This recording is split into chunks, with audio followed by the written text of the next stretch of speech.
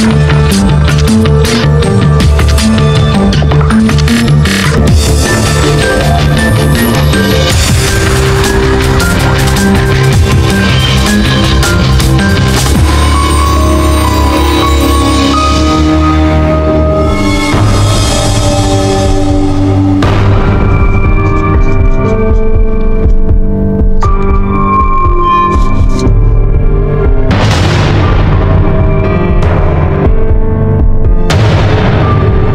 această ediție vom discuta despre două cazuri de un tragism deosebit. Două cazuri care au îngrozit nu numai familiile afectate, ci întreaga comunitate.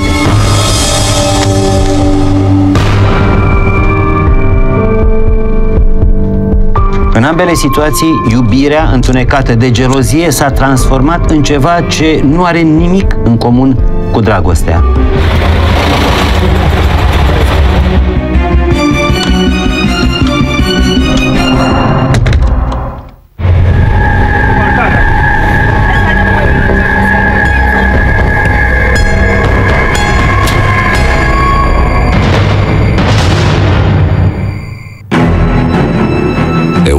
Și Lucia păreau în ochii prietenilor și ai familiei un cuplu absolut normal. Cei doi s-au căsătorit pe când ea avea numai 18 ani și el 20. Anii au trecut și familia s-a mărit, astfel încât în 2008 cei doi aveau deja patru copii. Viața lor părea că intrase pe un făgaș normal, dar s-a dovedit încă o dată că aparențele sunt înșelătoare. El era cunoscut cumva cu un comportament violent, mai avea antecedente în materie de violență? Uh, Nu era cunoscut cu un comportament violent, se știau că au ceva uh, probleme în familie, tocmai pe fondul uh, uh, crizelor de gelozie pe care acesta le avea față de victimă, dar nimeni, nici măcar membrii familiei, nu credeau că va recurge la un astfel de gest. Dacă s-a ajuns la, la crimă datorită geloziei, au existat foarte multe discuții, tensiuni, certuri, poate chiar scandaluri pe această temă. Numai că în momentul în care ești victimă într-o relație în care partenerul de cuplu te abuzează sistematic, acuzându-te de tot felul de lucruri, practic ești într-un cerc vicios din care este foarte dificil să ieși. Chiar rudele el cam plăceau pe el, pentru că omul avea grijă de familie, muncea, doar că a omorât-o. Și atunci și sau urma șocat, domnule, cum a putut să facă el așa ceva? Pentru că nu, nu părea genul, adică a avut grijă de... Era a venit cu familist. bani acasă, nu bea, nu aia, da, deci era familist omul. Atunci când vorbim despre gelozie patologică mai ales, nu vorbim despre o cauză aflată în exterior, ci exclusiv în interiorul individului. Neputându-se confrunta cu propria realitate și cu propria opinie despre sine, pentru că aici vorbim despre complexul de inferioritate al individului respectiv care se consideră complet nevaloros și, practic, individul acționează conform acestui adevăr care se află în mintea lui.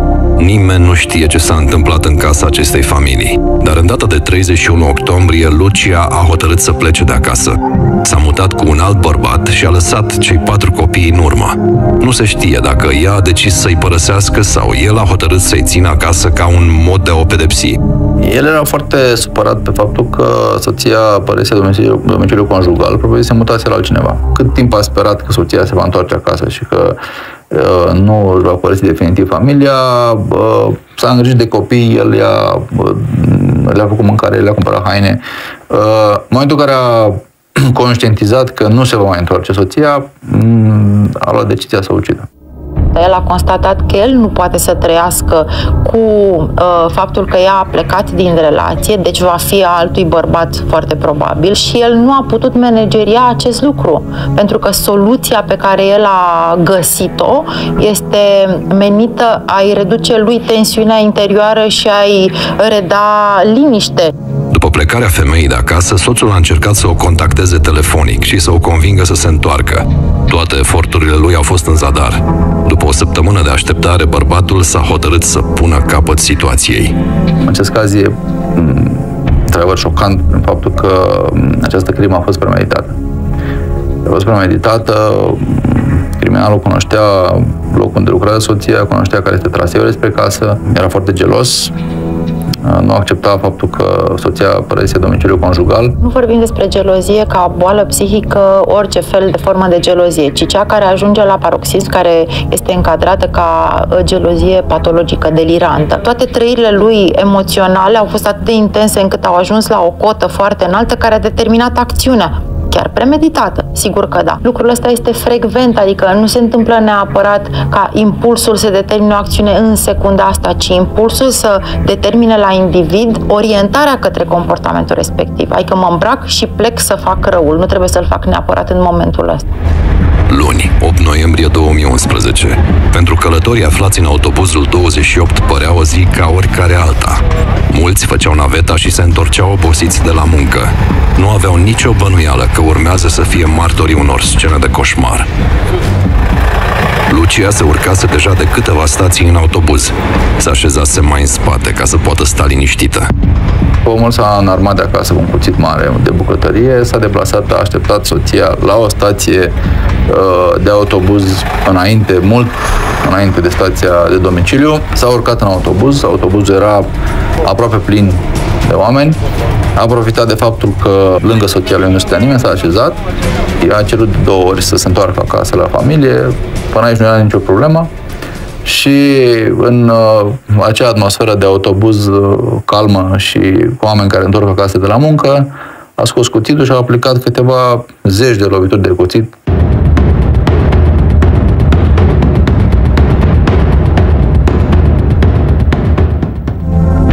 Nu am putut stabili la autopsie câte lovituri au fost, erau de multe încât se, între, Se suprapuneau. suprapuneau, cerau o nenorocire acolo. A fost un moment de panică generală în autobuz. Șoferul a oprit, a deschis ușile, lumea a fugit. El și-a terminat uh, activitatea infracțională. Victima a căzut la pământ. Tot autobuzul era o imagine apocaliptică cu toate geamurile și până și pe tavană să se sângele. Furia este exact ceea ce pune el lângă pedapsă pentru a determina un anumit comportament. Adică, conform uh, vorbei, nu ești a mea, nu ești a nimănui. Da? Și te pedepsesc în felul acesta, determinându-ți o schimbare de comportament. Că nu mai vorbim despre nicio schimbare de comportament, ci despre crimă, adică despre imposibilitatea de a mai avea un vreun comportament. Asta este situația de moment, dar sunt convinsă că în antecedente au existat multiple alte momente în care el a făcut corecția comportamentului soției cu ajutorul Violenței. Călătorii îngroziți i-au cerut șoferului să oprească mașina. Unul dintre ei a sunat imediat la poliție. Am constatat că în autobuz se afla o persoană în sex feminin ce prezenta mai multe plăgi înjunghiate la nivelul gâtului, iar în jurul autobuzului se afla mai multă lume care era speriată. Ceea ce era foarte uh, șocant la fața locului când ajungeai pe lângă balta aia de sânge și mm, victima întinsă în autobuz, era faptul că uh, lângă autobuz am găsit uh, autorul, bine, un circuit de câțiva agenți de poliție, iar undeva la o distanță apreciabilă era un grup de cetățeni îngroziți care ieșiseră în autobuz și care erau efectiv uh, șocați. Autorul uh, se afla lângă autobuz, coborât, uh, se spălase pe mâini și aștepta cu calm uh, venirea organelor de poliție. S-a predat și nu a avut niciun regret. Faptul că a luat o sticlă de apă găsită la fața locului s-a spălat, a spălat cuțitul, adică nu, uh, nu putea să rămână omul cu sângele pe mâini acum.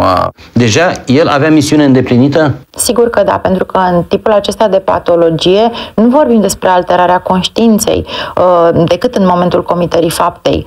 Uh, Faptul că el a dorit să pedepsească, să-și pedepsească soția așa, să arate cine este uh, cel puternic și să pună capăt așa zisei suferințe interioare determinate de comportamentul ei, practic în momentul acela luase sfârșit. Se pare că autorul și-a asumat fapta fără a avea regrete. Chiar uh, mai mult, din câte mi-aduc aminte, a declarat că decât uh, uh, victima să nu fie cu el, mai bine fără. Să nu mai fie deloc. Să nu mai fie deloc, da. Din punctul meu de vedere, pe lângă această crimă oribilă care a fost săvârșită, problema a urmat după. Pentru că ne-a spus uh, că ar trebui să meargă cineva acasă care are patru copii. Ce vârste aveau copiii? Am, din când mi-aduc aminte, fica cea mare avea 13 ani, mai era un uh, copil de 10 ani, unul de 4 ani, 2 ani, ceva genul ăsta. Diferența era foarte mare de vârstă între ei. Și grație acestei uh, întâmplări uh, premeditate de către criminal, a lăsat copiii pe drum. Procurorul a fost nevoit să găsească în scurt timp o soluție pentru copiii rămași singuri în apartament. Stabilisem la un moment dat cu protecția copilului ca acei copii să rămână în apartament în îngrijirea unei mătuși. A venit femeia respectivă și a spus că nu mai poate să aibă de copii, avea și ea copiii ei. Nu am reușit să ținem împreună, din păcate au fost uh, duși înspre unități de asta de protecție a minorilor, însă fiind de diferențe mari de vârstă, nu au fost duși împreună, au fost, familia a fost spartă. Este clar că mediul în care au crescut cei patru copii nu a fost dintre cele mai echilibrate, dat fiind dezdodământul acesta, putem să ne gândim că există o istorie de, de familie în care s-au petrecut tot felul de comportamente abuzive, cel puțin. Sigur că optim este ca copiii să trăiască împreună, frații să, să trăiască împreună și să evolueze împreună. A urmat o altă traumă pentru acești copii. Odată că și-au pierdut părinții, unul intrat în mormânt, celălalt în pușcărie uh, și ei au fost separați. Din punct de vedere, asta e adevărata traumă, faptul că un asemenea om care să vede asemenea faptă nu vede dincolo de vârful cuțitului. El uh, nu se gândește sau dacă se gândește nu-l interesează. Nu mi s-a părut nicio secundă care fi regretat. Din potrivă, și-a admis uh, vina din start. S-a părut extrem de ciudat lucrul ăsta. Totuși un om care nu are probleme de discernământ. Uh, un om normal. A luat Expertiza decizia... medico-legală psihiatrică da, l-a găsit... Uh, a, complet corect. Uh, da, apt și cu discernământul 100%, deci nici măcar diminuat nu era. Mi s-a părut foarte, foarte uh, traumatizant așa să vezi un om care până la urmă a distrus totul. Tot ce clădiți în viața lui uh, a distrus. În numele acelei familii pe care voia să o țină uh, închegată, a distrus acea familie. Bine, acum e posibil la momentul în care se va libera din penitenciar să poată să mai repare o parte în cioburile sparte, dar uh, nu cred că se mai poate face mai în loc. Copiii au crescut fără părinți, uh, deja au o anumită vârstă. Este extrem, extrem de, de delicat de, de gestionat această etapă de viață uh, și în condiții firești de evoluție. Da, păi, într-un context absolut dezechilibrant în care mama pleacă de acasă și tatăl meu devine criminalul mamei o săptămână mai târziu. Efectele sociale a unui asemenea fapt Uh, se perpetuează și acum, deci nu se vor termina niciodată. Pentru motivul că acei copii, eu să fiu, uh, gândiți noastră, ați înțelege, că s-a întâmplat în familia mea, că noi am doi părinți. E foarte greu de uh, înțeles și de acceptat așa ceva.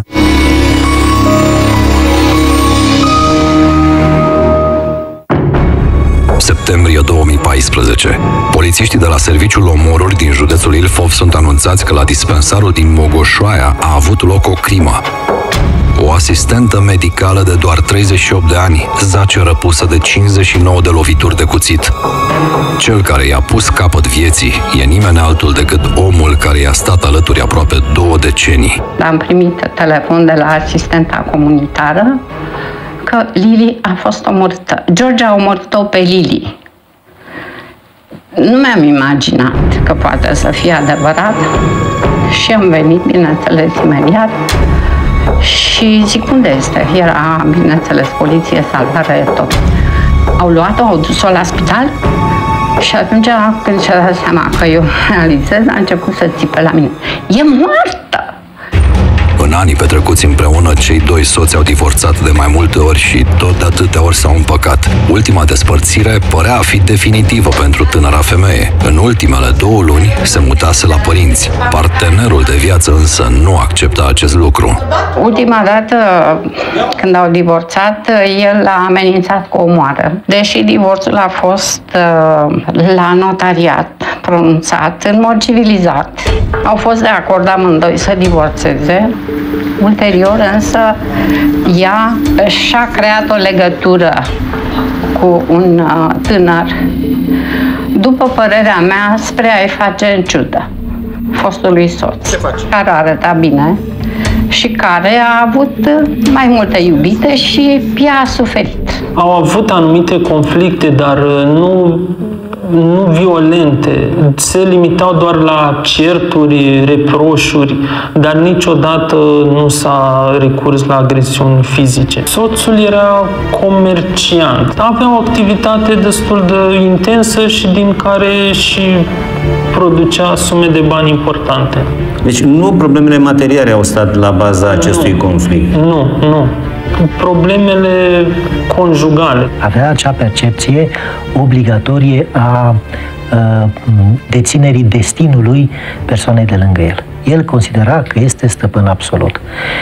Dacă pe fondul acestei probleme apare divorțul, nu înseamnă că se rupe și legătura emoțională, atașament. Femeia s-a plâns de mai multe ori colegilor de serviciu că soțul ei o jignește, o scuipă și o tratează ca pe o servitoare. Lăsam în mizerie în urma lui.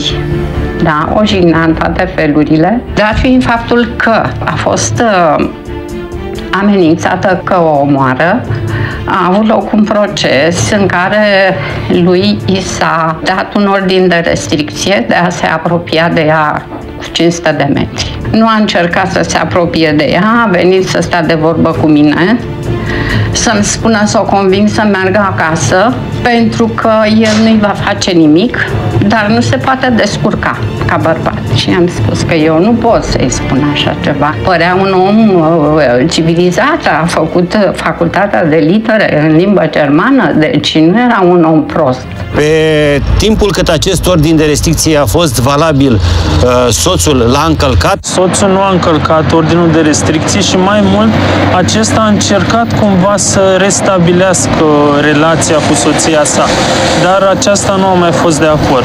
V-a spus cumva că se simțea urmărită? Nu mi-a spus mie, unei asistente i-a spus uh, până la urmă ăsta o să mă omoare. Există momente în care poate să apară un pericol iminent din partea unui asemenea agresor pe care, din păcate, noi nu le putem identifica. Ele pot să apară într-o dimineață, putea să se întâmple pe stradă, putea să se întâmple în mașină, putea să se întâmple oriunde. Pentru că odată ce decizia de suprimare a vieții a fost luată, nu rămânea decât trecerea la punerea în act a acestei decizii. În după amiaza fatidică, asistenta medicală vine la dispersar ca de obicei. Nimic nu prevestește că este ultima zi din viața ei. El uh, a închiriat o mașină de Giurgiu, a păzit în spatele primăriei, care este vis-a-vis și nu sunt decât 50 de metri, nu 500 de metri. A pândit momentul în care ea a rămas singură în cabinet. Ea vorbea cu iubitul ei la telefon și uh, era îndreptată cu fața spre fereastră. El a pătruns, profitând de momentul uh, când nu era nimeni. Se pare că i-a pus mâna la gură pentru că era mușcat de mână și cu cuțitul l-a împlântat în ea de foarte multe ori. I-a aplicat acestea 59 de lovituri de cuțit pe tot corpul. Este vorba de o furie acumulată, care de cele mai multe ori este oarbă, individul lovind la întâmplare sau agresând partea corpului care l-a deranjat sau care pe care o consideră vinovată. Deci a avut uh, o, o moarte îngrozitoare, după care i-a tăiat gâtul, avea un păr lung, frumos. Era o fată, o fată foarte frumoasă și din punct de vedere sufletesc și fizic. Și uh, s-a scurs tot sângele normal, deci ea acolo a fost găsită. Eu nu am avut puterea să intru să o văd atunci. Modul în care a fost uh, comisă fapta nu a permis nimănui să intervine, să sară în ajutorul uh, femeii? Nu, pentru că uh, victima noastră era singură în cabinetul medical. Ceilalți colegi ai ei, știindu-l pe soțul ei, i-au permis accesul și cumva i-au lăsat să discute, că se știa de problemele pe care le aveau. Imediat după comiterea crimei, ucigașul își sună fiul. Îi spune că i-a omorât mama și dispare. L-a sunat pe băiat și a spus vină repede la dispensar că am omorât-o pe maică ta, am omorât și eu, actele toate sunt uh, la locul lor, ai grijă de bani. A venit hotărât să comită fapta, a existat premeditare, nu a fost un conflict A spontan. existat premeditare clar, mai ales că în autoturismul uh, autorului am descoperit fotografii și mai multe materiale pe care acesta le efectuase ca urmare a unei supravegheri a soției sale. Respectiv, erau fotografii uh, în care erau înfățișate soția și actualul iubit. Foarte multe persoane, și de sex masculin și de sex feminin, nu reușesc să înțeleagă că acea persoană a intrat într-o altă relație, într-o altă viață și nu acceptă acest lucru. Încep să le urmărească, obsesiile se adâncesc în fiecare zi, în condițiile în care mai uh, apar și fotografii sau imagini în care persoana iubită este văzută împreună cu noul partener, apare o stare reactivă, o stare de furie, de agresivitate, care poate să aibă ca finalitate ceea ce s-a întâmplat în cazul nostru. Motivația lui nu a fost aceea unui detectiv. El a vrut să vadă cu ochii lui și în uh, faptul că a făcut fotografii ne arată cât de profundă era obsesia lui pentru această femeie. El dorea să aibă probe materiale cu privire la această relație. De ce? Pentru că trebuia să-și hrănească obsesia în mod permanent. Polițiștii îl caută pe criminal, dar fără succes. Abia a doua zi primesc o informație care a dus la depistarea acestuia, dar era prea târziu. Autorul a fost depistat după aproximativ două zile, fiind găsit spânzurat de un pod rutier pe raza orașului Chitila a fost descoperit uh, inopinant de un pescar. După comiterea unei asemenea agresiuni de o intensitate și răbufnire maxime, la un moment dat câmpul de conștiință se deschide și omul realizează ceea ce a făcut și de acel moment trebuie să găsească o soluție. Pe măsură ce devin conștienți de oroarea pe care au făcut-o, caută să scape de această presiune. Și atunci tind să săvârșească un suicid și să iasă din scenă cu totul. După ce a doua zi dimineața el a fost uh, găsit spânzurat și uh, la autopsie mm, s-a descoperit că avea bromazepam, vreo 30 de tablete emisise de bromazepam, deci oricum ar fi făcut un uh, stop cardiorespirator. Eu simt că ea există pentru că n-a dorit să moară, deci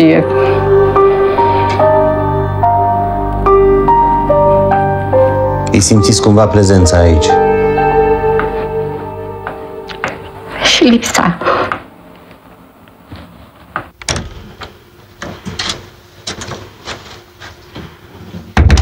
Mintea răvășită de gelozie și sentimentul de proprietate dictează comiterea crimei indiferent de locul în care se găsește victima. Se pare că nimic nu-l poate opri pe un asemenea monstru, nici măcar prezența călătorilor într-un autobuz sau prezența colegilor de serviciu ai victimei. Premeditarea crimelor, modul diabolic în care ele au fost comise, au făcut imposibilă prevenirea acestor tragedii. Paradoxal, fiecare dintre criminali părea că luptă pentru a ține familia unită. Rezultatul a fost cu totul altul. Nici măcar existența unor copii care au rămas fără ambii părinți. Unul a ajuns în groapă celălalt după gratii, nu i-a putut opri pe autori. Aceste cazuri demonstrează încă o dată că iubirea afectată de gelozie se transformă în obsesie, în boală greu de gestionat fără un ajutor medical de specialitate. Dacă uneori, mai ales la începutul relației, aceste ușoare accese de gelozie sunt luate drept dovezi de iubire, timpul amplifică sentimentul de proprietate, iar iubirea dispare în locul ei, insinuându-se gândul criminal.